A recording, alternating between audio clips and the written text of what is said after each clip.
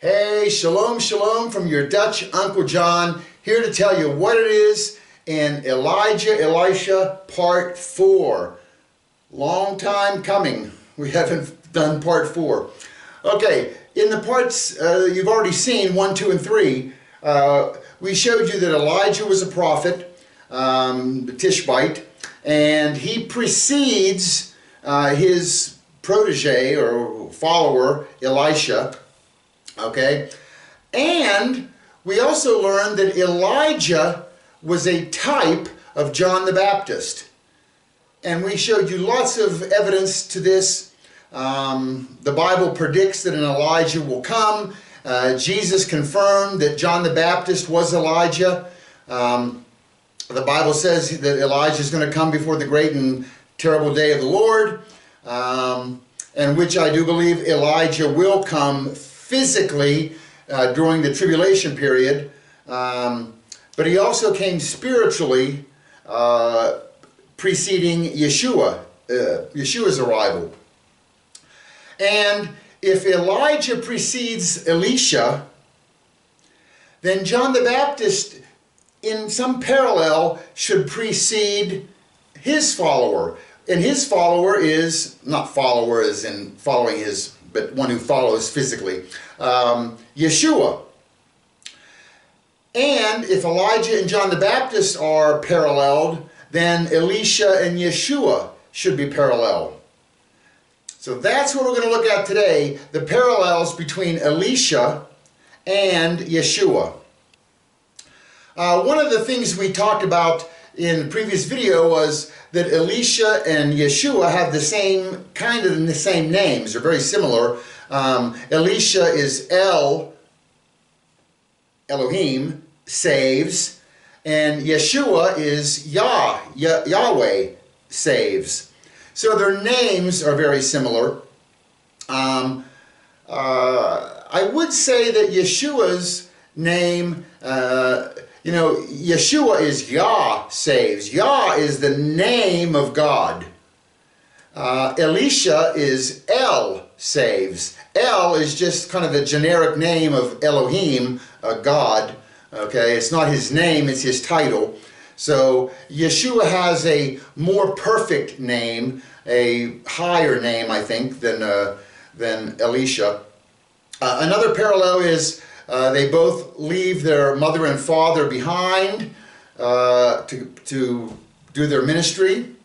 Um, Elisha just uh, went and he, remember, he killed his uh, oxen and fed the people and he burned all his uh, plows to cook the meat and distribute the, the meat. and Yeshua, he left his mother and father. Remember on the, uh, they went up to Jerusalem for Passover when he was 12 years old and they couldn't find him and he had gone back to talk to the doctors there in the temple. Um, uh, they forsook all to be disciples of their master. Okay, uh, Elisha followed Elijah. Uh, Yeshua, he forsook all. He was seated in heaven and he gave that up to come to earth to be our korban, to be our blood sacrifice. You can watch all these in the first three. Here's Elijah, Elisha, uh, part three, thumbnail, look for that. And now let's continue. Uh, the new things. Uh, one of them, um, what we're going to start with is, let's go through the miracles of Elisha and see if they parallel uh, Yeshua's miracles. The first miracle that Elisha performed was uh, after Elijah was taken up, Elisha went back to the Jordan River, and uh, we find this in 2 Kings 2, uh, verse 13 and 14. It says, He, Elisha, also took up the mantle of Elijah that fell from him, and returned and stood by the bank of the Jordan he took the mantle of Elijah that fell from him and struck the waters and said, Where is Yahweh, the Elohim of Eliyahu, Elijah? And when he also had struck the waters, they were divided here and there, and Elisha crossed over. this is Elisha's first miracle. Okay? And we see a parallel to this in Matthew 3, starting in verse 16.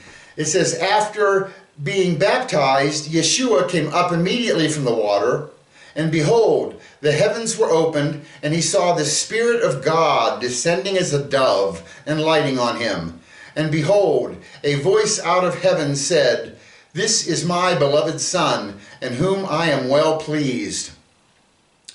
So, we have a, a double uh, kind of a parallel here. Um, one, remember Elisha, uh, he asked for a double portion of Elijah's spirit. And as we showed in previous videos, he did receive that double portion. Elijah, remember, performed eight miracles. Elisha performed 16. So that's kind of showing that he got the double portion and he got that double spirit that he asked for. And Yeshua, he also received the spirit uh, at the Jordan River there. Uh, remember, the, the dove came down and uh, alighted on him, and the voice said, This is my beloved Son in whom I'm well pleased. So they both received the Spirit at the Jordan River. And uh, maybe even a, dub, uh, a more bigger thing is um, Elisha parted the Jordan River, Yeshua parted heaven right? It, it opened up and a dove came down. So uh, Elisha did a big thing there. Yeshua did a bigger thing there. Okay, and they both received the Spirit. Um, and at the Jordan there, they continued uh, their predecessor's ministry. Right? Jesus follows uh, John the Baptist, and uh, Elisha follows Elijah and their ministries begin at the Jordan River. So we have parallels there. Uh, in 2 Kings 2.15, uh, it says, Now when the sons of the prophets who were at Jericho opposite him saw him, they said, The spirit of Eliyahu rests on Elisha. And they came to meet him and bowed themselves to the ground before him. And the parallel would be Mark 8, 27 starting. Now Yeshua and his disciples went out to the towns of Caesarea Philippi, and on the road he asked his disciples, saying to them, Who do men say that I am? So they answered, John the Baptist. But some say Eliyahu, Elijah, and others said, uh, one of the prophets. So these two are both recognized as true prophets of God. Uh, Elisha's second miracle, where the uh, Jericho springs were healed in 2 Kings 2.19. Then the men of the city said to Elisha, Behold, now the situation of the city is pleasant, as my Lord sees, but the water is bad, and the land is unfruitful. He said, Bring me a new jar and put salt in it. So they brought it to him. He went out to the spring of water, and he threw salt in it, and said, Thus says the Lord, I have purified these waters, there shall not be from there death or unfruitfulness any longer. So the waters have been purified to this day, according to the word of Elisha which he spoke. And the parallel, and before I continue, notice according to the word of Elisha. If you go back and look at Elijah, Elijah always is from the, the word of the Lord. Elijah is just repeating what the Lord tells him to repeat. Elisha doesn't ever quote the word of the Lord. Elisha speaks as if he were the Lord. He's not, but that's the parallel because Yeshua, he speaks as if he is the Lord and he is the Lord. So there's the parallel there. Now, so what's the parallel with the uh, making the pure water for life? Uh, well, we see that in John 4, uh, starting in verse 7 a woman of Samaria came to draw water. And Yeshua, Jesus, said to her, Give me a drink. Then the woman of Samaria said to him, How is it that you, being a Jew, ask a drink from me, a Samaritan woman? For Jews have no dealings with Samaritans. Jesus answered and said to her, If you knew the gift of God, and who it is who says to you, Give me a drink, you would have asked him, and he would have given you living water. Yeshua answered and said to her, Whoever drinks of this water will thirst again, but whoever drinks of the water that I shall give him will never thirst. But the water that I shall give him will become in him a fountain of water springing up into everlasting life. So they both provided pure water for life. And I wanted to point out, because we always look at the numbers in things, if you read that story of Jesus at the well with the Samaritan woman, you'll notice that Jesus says seven sentences to the Samaritan woman. There's your seven again. Always, the, the, sevens are hidden everywhere. I think we'll spend eternity picking out all the sevens. He'll be being shown all the sevens that are in there. So, uh, Elisha provides pure water. Jesus provides pure water for eternity. Eternity. You understand? Jesus is a better Elisha. Um, the third miracle of Elisha is that the bears uh, destroy the mockers in 2 Kings 2 23. Uh, Elisha has now come out from the Jordan. He's crossed over and he went to Bethel. And while he was there, a group of children started mocking him. Uh, verse 23 Then he went up from there to Bethel, and as he was uh, going by, by the way, young lads come out from the city and mocked him and said to him, Go up, you bald head. Go up, you bald head. And when he looked behind him and saw, he cursed them in the name of the Lord. Then two female bears came out of the woods and tore up 42 lads of their number. And he went from there to Mount Carmel, and from there he returned to Samaria. Wow, what parallel is there of that? Um, huh. Ah, in Matthew 21 12, uh, this is where Jesus enters the temple courts and drove out all who were buying and selling there. He overturned the tables of the money changers and the seats of those selling doves. So, what's the parallel? They were both zealous in Bethel. Bethel is Beth House El, God, the house of God. And you know, one of them is called Bethel, it's the city, and Jesus was literally in Bethel, the house of God. Um, Elisha's fourth miracle was water for kings. We find it in 2 Kings 3 17. For thus says the Lord, You shall not see wind, nor shall you see rain, yet that valley shall be filled with water, so that you shall drink, both you and your cattle and your beasts. So Elisha stops the rain, yet the valley fills with water, and he provides the water. And Psalm 107 35 says, He, referring to Yahweh, turns a wilderness into pools of water and dry land into water springs. And as we know, Yahweh and Yeshua are one in the same. Uh, Elisha's fifth miracle was multiplying the oil for the widow. In 2 Kings 4 3 and 4, uh, then Elisha said, Go, borrow vessels at large for yourself from all your neighbors, even empty vessels, and do not get a few. And you shall go in and shut the door behind you and your sons, and pour out into all these vessels, and you shall set aside what is full. Ah, okay, so uh, Elisha multiplies oil for the widow. Well, ah, and in John 2, in the Brit Hadashah New Testament, uh, verse 6 starting. Now, six stone water jars had been set there for the Jewish rites of purification. Each could hold from 20 to 30 gallons. Jesus told the servants, Fill the water, fill the jars with water, so that they filled them to the brim. Now draw some out, he said, and take it to the master of the banquet. They did so, and the master of the banquet tasted the water that he had that had been turned into wine. He did not know where it came from, but the servants who had drawn the water knew. Then he called the bridegroom aside, and everyone said, Everyone serves the fine wine first, and then the cheap wine after the guests are drunk. But you have saved the fine wine until now. So, one of them multiplies oil. Oil represents spirit. One of them represents, uh, multiplies wine, which represents joy.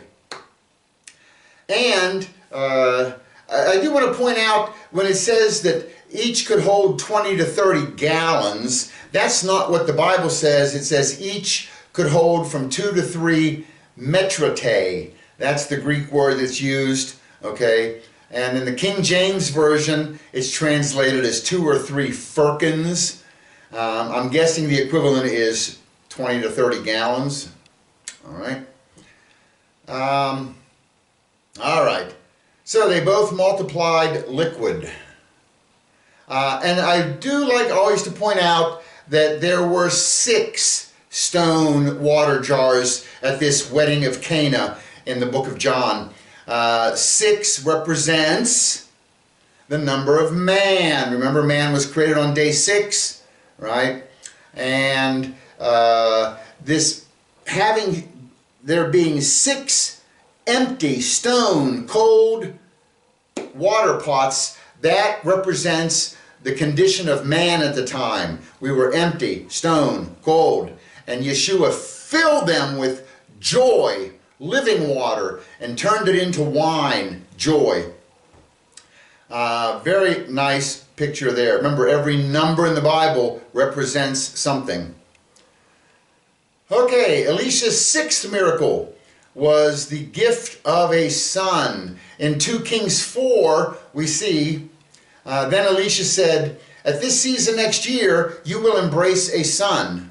And she said, No, my lord, O man of God, do not lie to your maidservant. And then the woman conceived and bore a son at that season the next year, as Elisha had said to her. This was the Shunammite woman. Um, and he promised her a son, and she got a son. And where is uh, Shunammite woman? Where is she from? She's from Shunem. And where is Shunem? Well, you can see here I have the map of Nazareth, and just south of Nazareth, uh, in the red box, we'll enlarge it, and you see um, there's the red box, and there's a Mount Moreh. and just on the south side of this mountain is the village of Shunem, uh, it looks very close, like about 10 miles away from Afula. If you've been to Israel and ridden buses, if you want to go from Jerusalem or Tel Aviv up to the north, you're going to change buses in Afula, or at least stop there. Okay? Um, and we have lots of promised sons uh, in the Bible. Genesis 17, 21, uh, Yahweh promises Abraham, but my covenant will I establish with Isaac, which Sarah will, will bear unto you uh, this at this time uh, next year. In Luke 1.13, but the angel said to him, Zacharias, uh, Do not be afraid, Zacharias, for your prayer is heard, and your wife Elizabeth will bear you a son, and you shall call his name John. Uh, this is John the Baptist's birth, right? His mother was uh, uh, Elizabeth, the cousin of Mary, Yeshua's uh, mother. And remember, Elizabeth, what does Elizabeth mean? Well, it starts with L, L, God, and then it's uh, E, that's Yod, that's my, my God, um, uh, or God is my, and then Shabbat, Sabbath, Zabeth. Okay, so and Sabbath means rest. So God is my rest. Eli Shabbat. Uh, Luke 1:30. Then the angel said to her, Do not be afraid, Mary, for you have found favor with God. And behold, you will conceive in your womb and bring forth a son, and you shall call his name Yeshua. Uh, English is always Jesus, but it wasn't Jesus, it was Yeshua. Learn his name. Okay.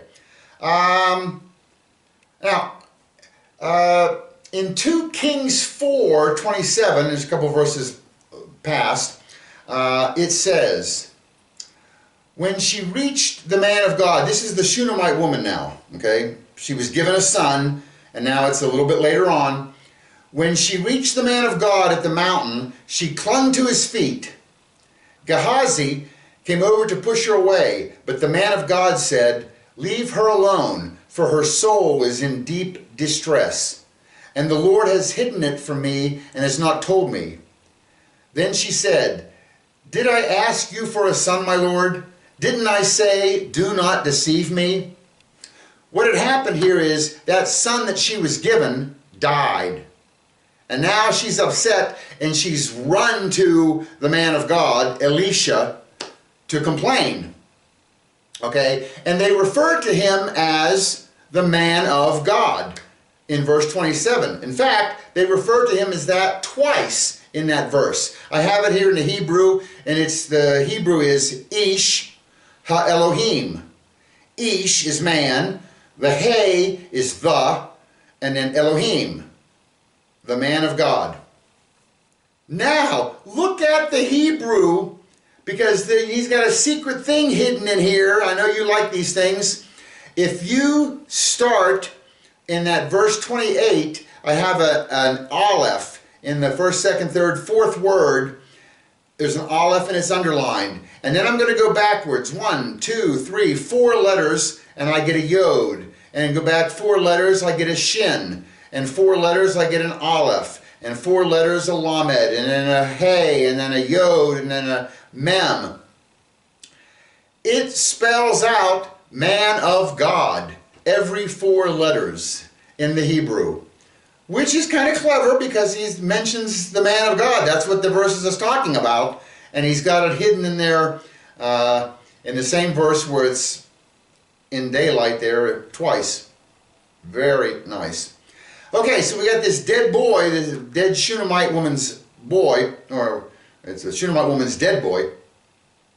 Uh, and in 2 Kings 4.35, it says, When Elisha reached the house, there was the boy lying on his bed. So Elisha went in, closed the door behind the two of them, and prayed to Yahweh. When Elisha got on the bed and lay on the boy, mouth to mouth, eye to eye, and hand to hand, as he stretched himself out over him, the boy's body became warm. Then he returned and walked in the house once back and forth, and went up and stretched himself on him. And the lad sneezed seven times, and the lad opened his eyes. So we have Elisha raising a son from the dead. Parallel? There are more than one, but here Luke 7 14, and he, Jesus, Yeshua, came up and touched the coffin, and the bearers came to a halt, and he said, Young man, I say to you, arise. And the dead man sat up and began to speak, and Yeshua gave him back to his mother. So they both raised a woman's son from the dead. All right. Um, look in Luke 7. We have, uh, this is not really a miracle here, but in Luke 7, starting in verse 11, it says, Soon after, uh, Jesus went up to the city of Nain.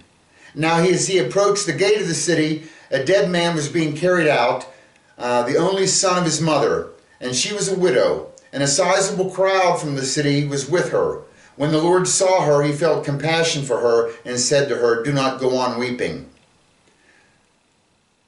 And then again in John 19, now beside the cross of Yeshua stood his mother. So when Jesus saw his mother and the disciple whom he loved standing nearby, he said to his mother, Woman, behold your son. And he said to the disciple, Behold your mother. And from that hour, the disciple took her into his own household. So there is a parallel here, and that is that Elisha showed pity to the widow who had lost her son, and he raised her son. And we see Yeshua also has pity on uh, widows here and that's just another parallel that's not really a miracle, just a parallel. Okay? And we are taught in the uh, Torah, Exodus 22 22, you shall not oppress any widow or orphan. Deuteronomy 27 19, cursed is one who distorts the justice due to a stranger, an orphan, or a widow. And all the people shall say, Amen. Uh, in Mark 12, verse 38, in his teaching, Yeshua also said, Watch out for the scribes. They like to walk around in long robes to receive greetings in the marketplaces and to have the chiefs' seats in the synagogues and places of honor at banquets.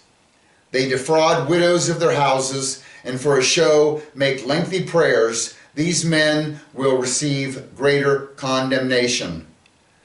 These are the Pharisees. These are the these are the Democrats.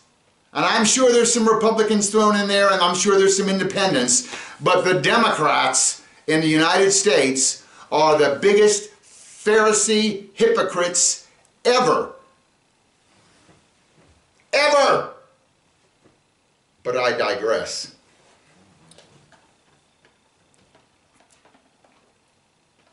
All right.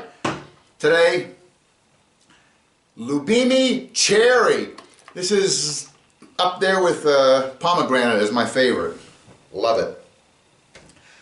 Okay, so we see that they both cared for widows.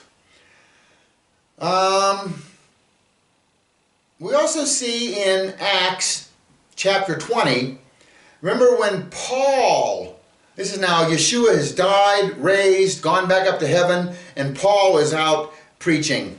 And uh, it, he was preaching one night, and a certain young man uh, named Eutychus, seated in the window, was sinking into a deep sleep as Paul talked on and on. Maybe like a lot of you do during my videos. I hope not. Uh, when he was sound asleep, he fell from the third story and was picked up dead. But Paul went down, threw himself on the young man, and embraced him. Do not be alarmed, he said, he is still alive. Then Paul went back upstairs, broke bread, and ate. And after speaking until daybreak, he departed and the people were greatly relieved to take the boy home alive. So we have uh, Paul also having um, pity on somebody and raising them from the dead. In fact, uh, there's there's a lot of parallels between Paul and Elisha. Maybe we do a video on that someday. Paul, Elisha, and Yeshua. Um, we showed you Elisha's route. Um, uh, his ministry started there at Gilgal, um, which this is, that's the first camp in the promised land that the Jews, when they crossed the river in Gilgal, and Joshua circumcised the next generation. Uh, circumcision is a separation from your old life, now it's the new life. And then Elisha went to Bethel, uh, which is the house of God, where Jacob's ladder was, right? That's the house of God. So Elisha separated, then he went to seek the presence of God. Then he went to uh, Jericho. Uh, Jericho is where the Jews fought their first battle, uh, or God fought their first battle. The Jews walked around the city seven times, seven days. And uh, he won the battle by a walk of faith.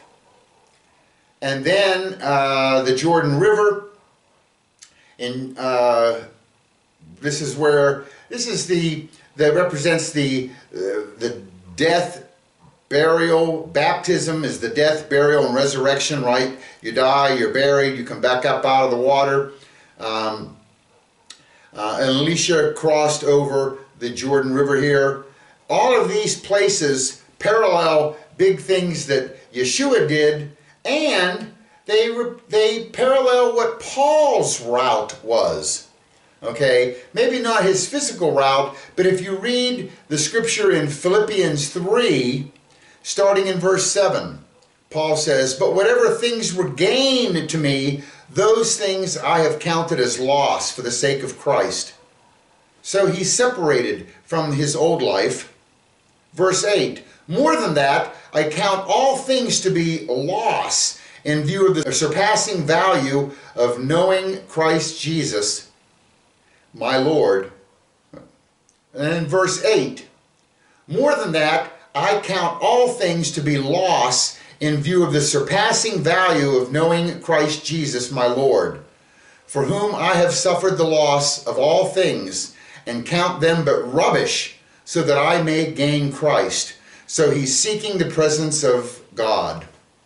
And then in verse 9, he continues, and may be found in him, not having a righteousness of my own derived from the law, but that which is through faith in Christ, faith in Messiah, the righteousness which comes from God on the basis of faith. So there is a walk by faith that Paul has. And then verse 10 that I may know him and the power of his resurrection and the fellowship of his sufferings, being conformed to his death, in order that I may attain to the resurrection from the dead. So there's a picture of the baptism, death, and resurrection. So Paul is paralleling Elisha's route. Just threw that one in for free. Okay, uh, Elisha's eighth miracle was healing the stew. Um, and this you will find in 2 Kings 4, verse 41. But he said, Now bring meal. He threw it into the pot and said, Pour it out for the people that they may eat. Then there was no harm in the pot. Remember, they had made a big pot of something, and somebody had gone out and picked some wild something and threw into the pot, and it was poisonous, and it was causing people to be sick from this mushroom or whatever they put in there that was bad. And uh, he healed that uh, pot of stew. Elisha did. Um,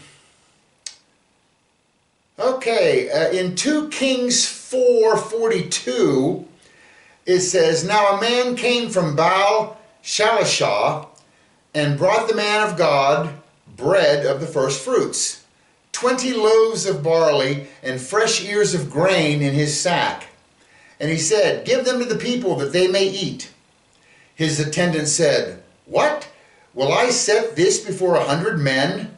But he said, Give them to the people that they may eat. For thus says the Lord, they shall eat and have some left over. So he set it before them, and they ate and had some left over, according to the word of the Lord. So he feeds a hundred people with 20 loaves of barley bread, Elisha does. Okay?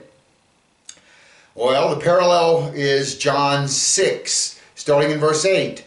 One of Yeshua's disciples, Andrew, Simon Peter's brother, said to him, There is a lad here who has five barley loaves and two fish. But what are these for so many people? Yeshua said, Have the people sit down. Now there was much grass in the place. So the men sat down, in number about 5,000. Yeshua then took the loaves, and having given thanks, he distributed to those who were seated. Likewise, also of the fish, as much as they wanted. When they were filled, he said to his disciples, Gather up the leftover fragments so that nothing will be lost.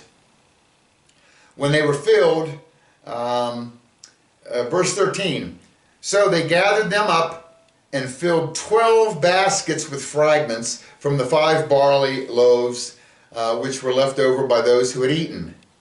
Therefore, when the people saw the sign which he had performed, they said, This is truly the prophet who has come into the world.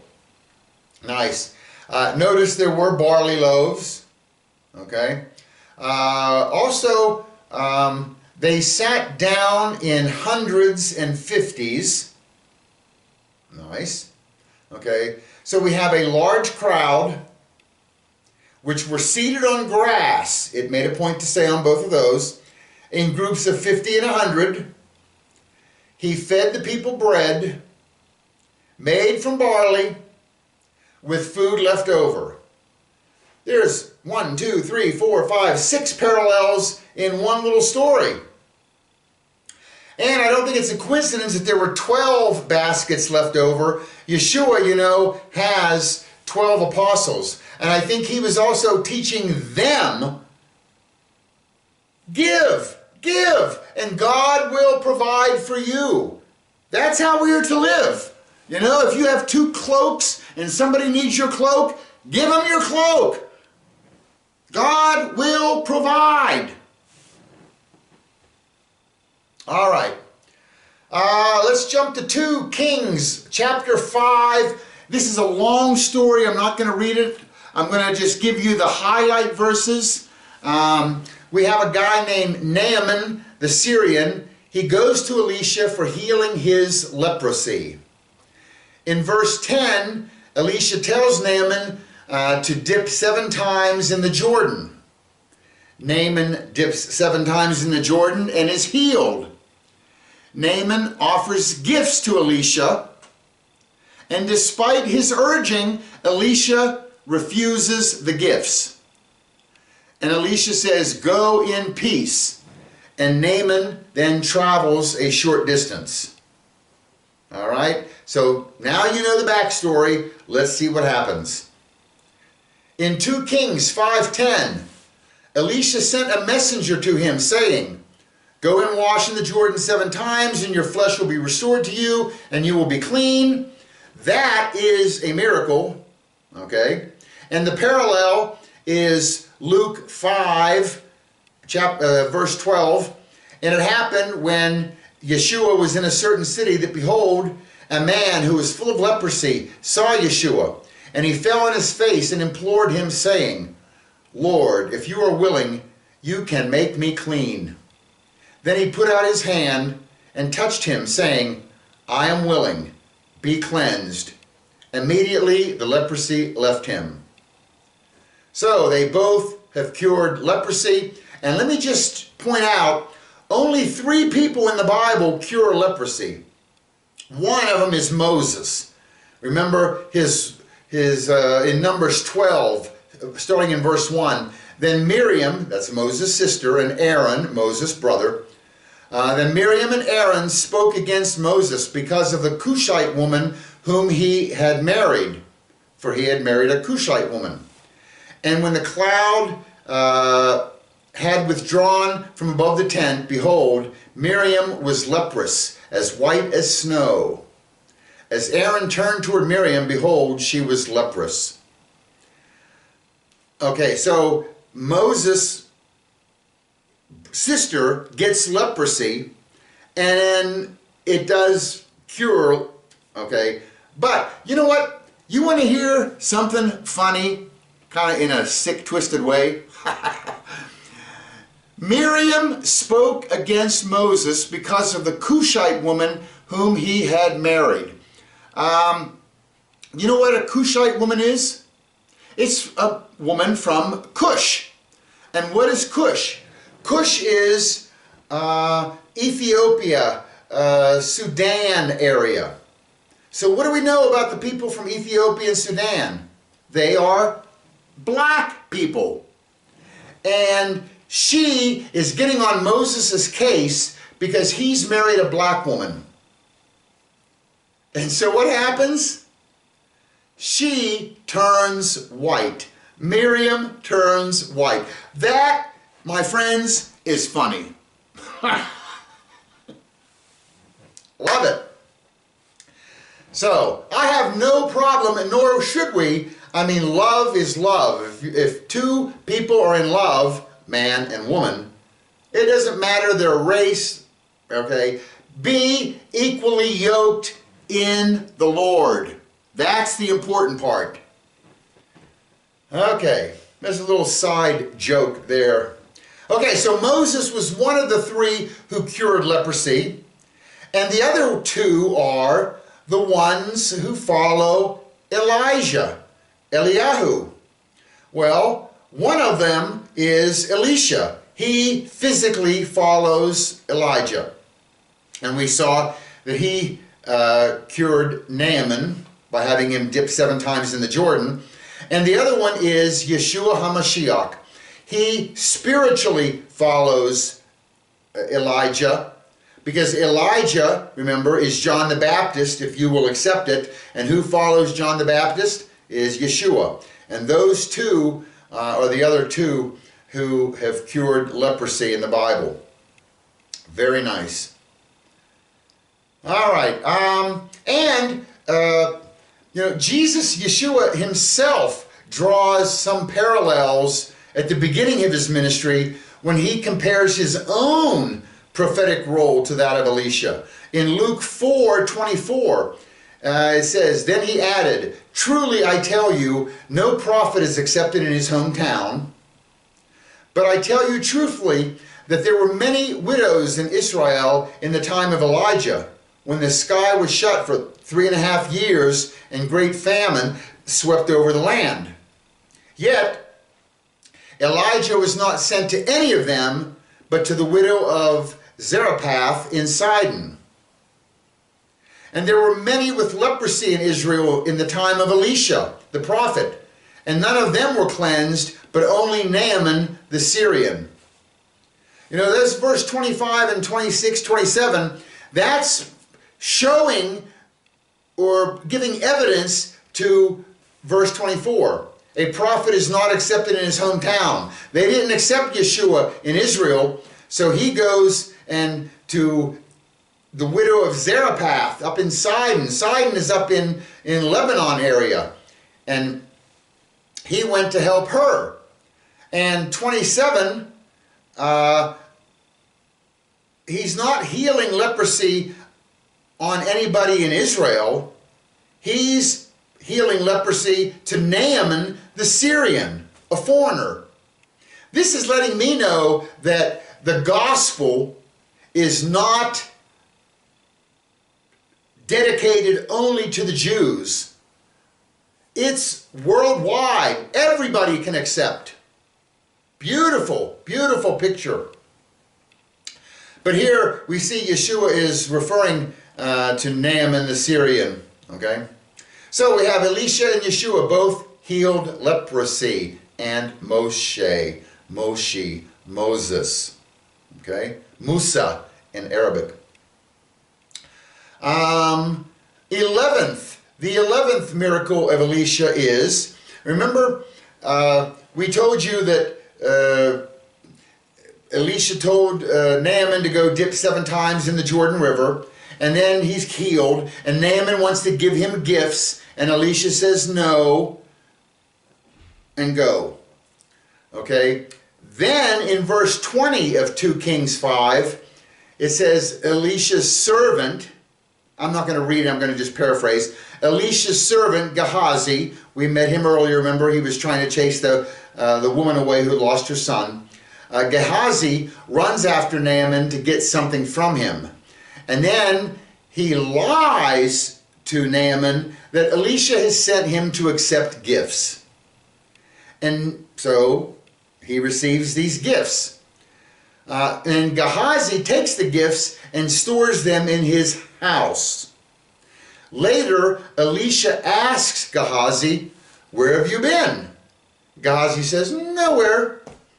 And Elisha questions Gehazi deeper. Elisha has suspicion that Gehazi was up to no good, and he realizes that he went after Naaman and got the payment that was offered and that Elisha had rejected. So Elisha curses Gehazi with the leprosy of Naaman. Wow. Okay, so there's uh, uh, the 11th uh, miracle of Elisha. Um, and uh, in Luke 22 47, it says, While Yeshua was still speaking, a crowd arrived, led by the man called Judas, one of the twelve. He approached Yeshua to kiss him. But Jesus asked him, Judas, are you betraying the Son of Man with a kiss? Okay, what's the parallel between those two? Both were betrayed by friends for the love of money. Gehazi went after Naaman to get the money, and Gehazi is the servant, friend, protege of Elisha, and Judas was the friend, protege, apostle of Yeshua. Okay? And they were both betrayed for love of money. Um, the 12th miracle of Elisha, uh, 2 Kings 6, starting in verse 5. But uh, a bunch of men are out working near the Jordan, uh, but as one was felling a beam, the axe head fell into the water. And he cried out and said, Alas, my master, for it was borrowed. Then the man of God said, Where did it fall? And when he showed him the place, he cut off a stick and threw it in there and made the iron float. He said, Take it up for yourself. So he put out his hand and took it. Okay, the guy is out working with an axe. Axe head flies off, sinks in the river. He complains because this was a borrowed axe head. And what am I going to do? And the man of God, Elisha, threw a stick in the water and the axe head floats. Okay, and we have uh, a parallel to that, Matthew 14, 29 in the Brit Hadashah. And Yeshua said, Come. And Peter, having descended from the boat, walked upon the water and came to Jesus. So we have both Elisha and Yeshua defying gravity. One causing an axe head to float, one walking on water. Okay, Elisha's 13th miracle was giving sight to the blind. Um, in 2 Kings 6, verse 15, now when the attendant of the man of God had risen early and had gone out, behold, an army with horses and chariots were circling the city. And his servant said to Elisha, Alas, my master, what shall we do? So Elisha answered, Do not fear, for those who are with us are more than those who are with them.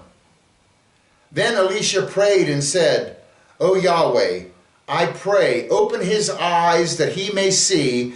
And the Lord opened the servant's eyes, and he saw. And behold, the mountain was full of horses and chariots of fire all around Elisha. Remember, uh, this story was uh, one of the kings. Uh, Elisha was causing causing all kind of trouble for uh, the Israelites, and one of the kings, not the Israelites, one of the kings there. And the king uh, sent his army, go bring me Elisha. And all these chariots and horses, they surrounded the tent where Elisha and his servant was.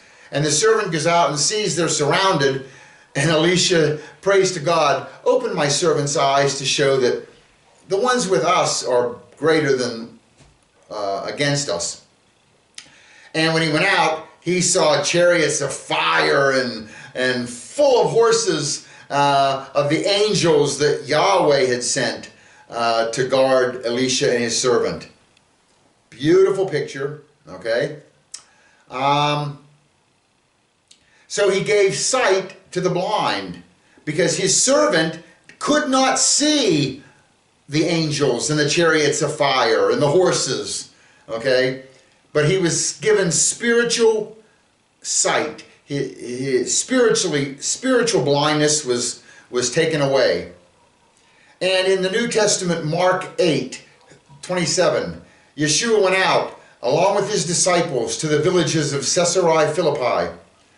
And on the way, he questions his disciples, saying to them, Who do people say that I am? And they told him, saying, John the Baptist, and others say Elijah, and others one of the prophets. And he continued questioning them, But who do you say that I am? And Peter answered and said to him, You are the Messiah and he warned them not to tell no one about him. Nice picture. They received spiritual sight because they recognized Yeshua as the Messiah, as the Christ. Remember, Christ, Messiah, Greek, Hebrew, same word, Mashiach, Messiah, Christ, anointed one, all the same. Um, in 2 Kings 6, this is uh, Elisha's 14th miracle. Um, all those armies that the king had sent to surround them, when they came down to him, Elisha prayed to Yahweh and said, Strike this people with blindness, I pray. So he struck them with blindness according to the word of Elisha. Miracle 14, striking blindness. Um, then Elisha said to them in 19, This is not the way, nor is this the city. Follow me, and I will bring you to the man whom you seek. And he brought them to Samaria. Who were they seeking? They were seeking Elisha. And Elisha blinds them and then says, Hey guys, follow me and I'll take you to where the guy is you're looking for. They not realizing that Elisha was the guy they were looking for and he was right there. Um, and in Ephesians 4, in the New Testament, this is Paul's letter to Ephesus, verse 8, um, 7 and 8. But to each one of us grace was given according to the measure of Messiah's gift. Therefore it says, when he ascended on high, he led captive the captives and he gave gifts to people. So here, Yeshua, uh, Yeshua, Yahweh, okay, Paul here is quoting Psalm 68, verse 18. You have ascended on high, have led captives away. You have received gifts from men, even from the rebellious, that Yahweh Elohim may dwell there. So we have Elisha and Yahweh, Yahweh is Yeshua, they led captives. Nice picture. Uh, Okay, Elisha's 15th miracle. Um, now, all these captives that he led back to Samaria, okay, what's he going to do with them? In verse 20 of 2 Kings 6. When they had come into Samaria, Elisha said, O Yahweh, open the eyes of these men that they may see. So Yahweh opened their eyes, and they saw, and behold, they were in the midst of Samaria. And in Mark 10, Verse 51 starting. And answering him, Yeshua said, What do you want me to do for you? And the blind man said to him, Rabboni, I want to regain my sight. And Yeshua said, Go, your faith has made you well. Immediately he regained his sight and began following him on the road. So we have Elisha and Yeshua both gave sight to the blind. Elisha restored the sight with Yahweh's help and the prayer to Yahweh of the entire army that had come to get him. Okay? And uh, Yeshua res restored literal physical sight also to the blind man. He did it more than once. Okay? Um, and in 2 Kings 6.20, but let's we just read that one, right? He he prayed and their sight was restored. And in verse 21, then the king of Israel, when he saw them, said to Elisha, My father, shall I kill them? Shall I kill them? He answered, Elisha answered, You shall not kill them. Would you kill those you have taken captive with your sword and with your bow? Set bread and water before them, that they may eat and drink and go to their master. So he prepared a great feast for them, and when they had eaten and drunk, he sent them away, and they went to their master. And the marauding bands of Aramaeans did not come again into the land of Israel. Nice picture. You see that? Elisha, he had the opportunity to kill every one of those that he had blinded, but instead he set bread and water and they prepared a feast for them and he restored their sight and he fed them and sent them back to their home country. This is love your enemies. And what did it say? They never came again into the land of Israel. Why would they attack again? Why would they attack these people who fed them and did not kill them? Nice, nice picture. And in the New Testament, Luke 5 29. Then Levi hosted a great banquet for Yeshua at his house. A large crowd of tax collectors was there, along with others who were eating with them. But the Pharisees and their scribes complained to Yeshua's disciples, Why do you eat and drink with tax collectors and sinners? So we have Elisha and we have Yeshua eating with sinners. Yes, tax collectors. okay. And we have them both showing mercy, um, not harming them. They they're eating with them. What a nice, nice picture. Okay. Um, and we saw that with Elisha, they set bread and water before them. And in the New Testament, Matthew 5 44, uh, Yeshua says, But I say to you, love your enemies and pray for those who persecute you. And we have that parallel. They both showed and taught love toward their enemy. Okay, so then Elisha dies. All right, well, we have a parallel there. Jesus dies. All right. Um, in 2 Kings 13:20, and Elisha died and was buried. Now the Moabite raiders used to come into the land every spring. Uh, 2 Kings 2, verse 9, when they had crossed over, Eliyahu, Elijah, said to Elisha, Ask me what I should do for you before I am taken from you. And Elisha said, Please let a double portion of your spirit be upon me. Here's a reminder Elijah did eight miracles. Here's the, the references, you can look them up. And Elisha did 15 miracles. And he asked for a double portion. Notice, one of them did eight, one of them did 15, almost a double portion. Remember? Missed it by that much. Elisha dies. And then Elisha, uh, in verse 21 of 2 Kings 13, it says, Once, as the Israelites were burying a man, suddenly they saw a band of raiders. So they threw the man's body into Elisha's tomb. And when he touched the bones of Elisha, the man was revived and stood up on his feet. So now we have Elisha's 16th miracle, and that miracle is the miracle after death. A man comes to life touching Elisha's bones. Elisha's 16th miracle happened when Elisha was dead.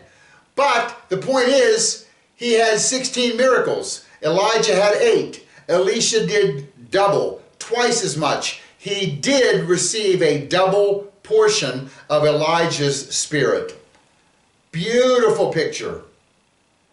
And the parallel is that um, Elisha's death or Elisha's death brought resurrection for others, and Yeshua's death and resurrection brought resurrection for others. The entire world, right? He became our korban, our sin sacrifice. And let me remind you, Jesus could not and did not sin. If he is going to be our perfect, innocent, willing sacrifice, he has to be innocent, perfect, and willing.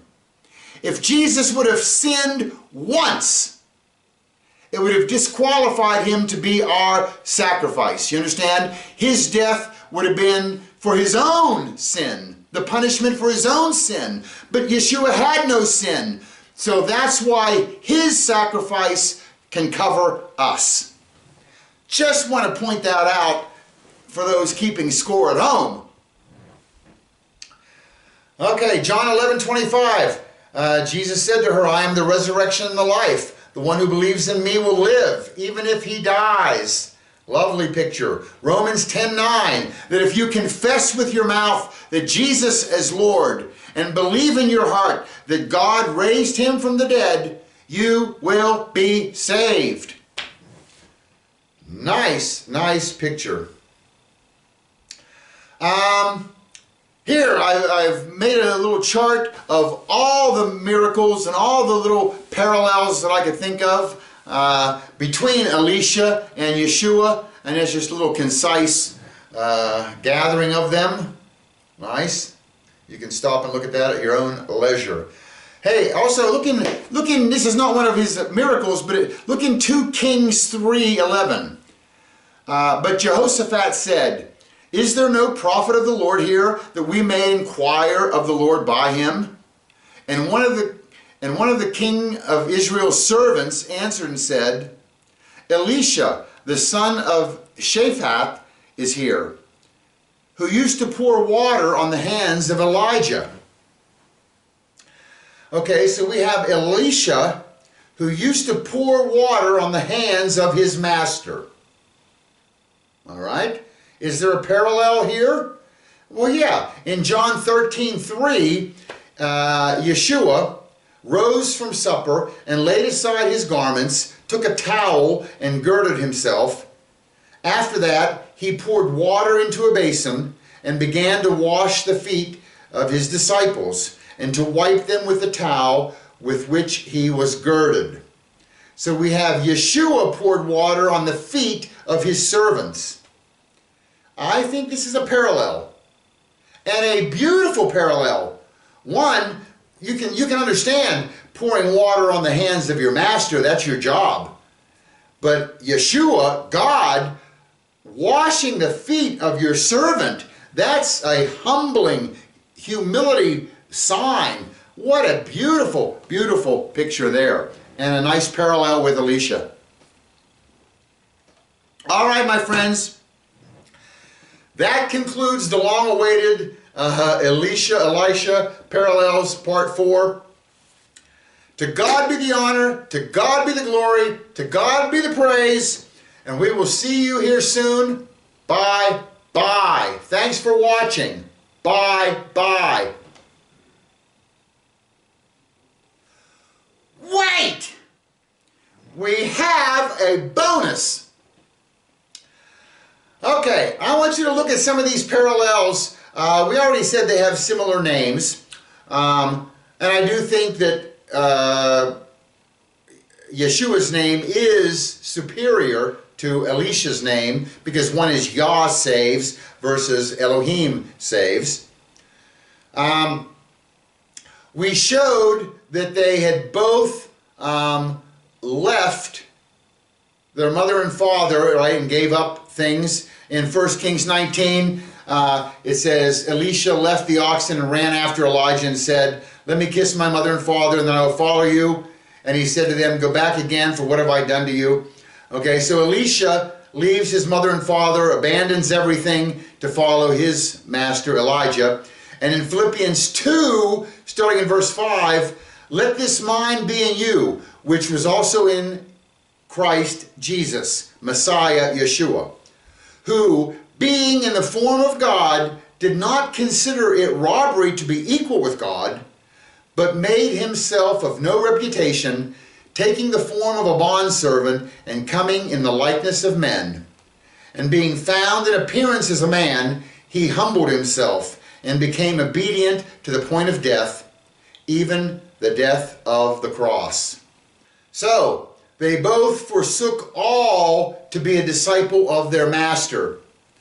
Only Elisha gave up his worldly things and left his worldly mother and father. Yeshua gave up his heavenly throne and his position as the Son of God, as God. Okay? So Yeshua's parallel is greater than Elisha's. And you're going to see that all through these parallels, right? It only makes sense. Yeshua is the better Elisha. Yeshua is the more perfect Moses. Yeshua is the, the greater Abraham. Yeshua is the second Adam, the pure, good, innocent, perfect Adam. Yeshua is going to beat everybody in everything. Um, in 2 Kings 2.13, uh, Elisha took up the mantle of Elijah the, uh, that fell from him and returned and stood by the bank of the Jordan. He took the ma mantle uh, and struck the waters and said, Where is Yahweh, the God of Elijah? And when he had struck the waters, they were divided here and there, and Elijah crossed over. In Matthew 3 16, after being baptized, Yeshua came up from the water, and behold, the heavens were open, and he saw the Spirit of God descending as a dove and lighting on him. And a voice out of heaven said, This is my beloved Son, in whom I am well pleased. Okay? One of them parted the river, one of them parted heaven. You see, one is greater than the other, but they're still parallel. Remember the Shunammite woman, right? Who had uh, was promised a son, and then the son died. Okay, and uh, Elijah goes and raises that son. Look, by the way, where this was. I told you earlier. It's in Shunem. And where was Shunem? It's on the south side of Mount Moreh, close there to Afula, uh, modern day Afula. Um, and in Luke 7, we have Yeshua raising a, a, a, woman's son. In verse 11, soon after Yeshua went to the city of Nain. Now, as he approached the gate, a dead man was being carried out, the only son of his mother, and she was a widow, and a sizable crowd uh, from the city was with her. When the Lord saw her, he felt compassion for her and said to her, Do not go on weeping. Where is Nain? It turns out it's on the north side of Mount Moreh. So not only did they both raise a, dead, a woman's dead son, they did it at the same place on, on the base of this Mount Moreh. How cool is that? Here's some other maps of it just to show you. There's the mountain. Notice one's on the north, one's on the south. And you know what? This should ring bell with the people of Israel. Because everybody in Israel knew that Elisha had raised a woman's dead son right there at Mount Moriah. And now it's years later, and all the Jews know about Elisha's big raising of the dead miracle at Mount Moriah, and now Yeshua raises a woman's dead son at Mount Moriah. The people of the Israelites, the Jews, should have recognized hey, there is a parallel between Yeshua and Elisha. And then, once they establish that parallel, they can back it up. Elisha's predecessor was Elijah. Jesus' predecessor was John the Baptist. There's a parallel there. And that lets you know that Elijah is John the Baptist. He has to come before the Messiah. And the raising of the dead, remember Elisha, he had to lay on the boy, hand on hand, mouth on mouth, eye on eye, right? Everything, not Jesus. Jesus just spoke and he raised. Jesus' miracle is greater than Elisha's. Um, now, something happens that's pretty significant. Um, I'm going to read it from Mark 6, verse 21.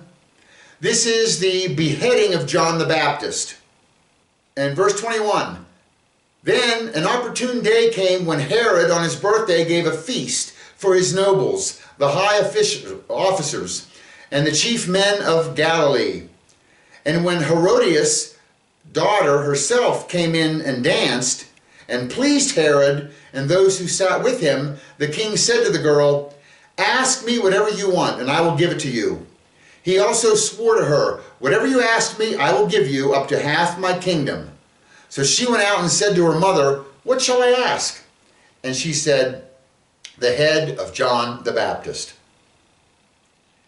Verse 25 Immediately she came in with haste to the king and asked, saying, I want you to give me at once the head of John the Baptist on a platter. And the king was exceedingly sorry. Yet, because of the oaths and because of those who sat with him, he did not want to refuse her. Immediately, the king set an executioner and commanded his head to be brought, and he went and beheaded him in prison brought his head on a platter and gave it to the girl, and the girl gave it to her mother. When his disciples heard of it, they came and took his corpse and laid it in a tomb. Remember, John the Baptist was speaking out against these extramarital affairs and stuff that, the king and his wife and people were doing, and And so they didn't like that. So uh, John the Baptist is now dead. Okay, so wow, that's a huge thing. This, remember, John the Baptist parallels who? Elijah. So when Elijah is taken up, Elijah, his ministry is over. And now who takes over? Elisha. And now John the Baptist had a ministry, but he just got beheaded. And when he's beheaded, who takes over? His successor, Yeshua. His ministry is now the core. You got it? There's a nice parallel here. Um, and you're going to see something really cool here that shows you that Yeshua Jesus' ministry has now begun. 2 Kings 4 42. Remember the Elisha fed the hundred people with five loaves of bread? Okay, here it is in 2 Kings 4 42. Uh, there's a hundred men, and uh, Yeshua had them sit down in hundreds and fifties. Okay, so we I showed you all the parallels just of the feeding, right? Notice at a large crowd, Elisha had a hundred, Yeshua had five thousand men plus women and children. Elisha had twenty loaves. Yeshua had five loaves. You see the picture? Yeshua, he fed more with less. And this is a very important miracle. I hope you realize that. This is one of the miracles, maybe the only one, that is in all, no, it's not the only one, it's in all four Gospels. You know, if I was picking, okay, what is the biggest miracle? What, what's it? Like you would think maybe, uh, I don't know, the, the raising of Lazarus. Raise, that's, that was huge. Huge, huge. But no, it only shows up in one, in John. There's so many incredible, incredible miracles, but this one, the feeding of the multitudes, shows up in all four. So this is a huge miracle. It's letting you know that the bread from heaven is provided to everyone. Okay? So, they both fed large crowds. Yeshua fed bigger crowd with less. Um, we showed you the, the miracle of the uh, healing of Naaman in 2 Kings 5. I won't read that all again, but you remember that miracle. All right? Um, and uh, when he ended, he told uh, he told Naaman, "I don't want your gifts." Two Kings five nineteen, Elisha says, "Go in peace." In Luke seventeen, while Jesus was on his way to Jerusalem, he was passing between Samaria and Galilee. And as he entered one of the villages, he was met by ten lepers, and they stood at a distance and raised their voices, shouting, Yeshua, Master, have mercy on us. And when Yeshua saw them, he said, Go, show yourselves to the priest. And as they were on their way, they were cleansed. One of them saw that he was healed. He came back, praising God in a loud voice. He fell face down at Yeshua's feet in thanksgiving to him. He, he was a Samaritan. And Jesus said, Were not all cleansed? Where then are the other nine? Was no one found except this foreigner to return and give glory to God? Then Yeshua said to him, Rise and go, your faith has made you well. Look at the parallels in the healing of the leprosy.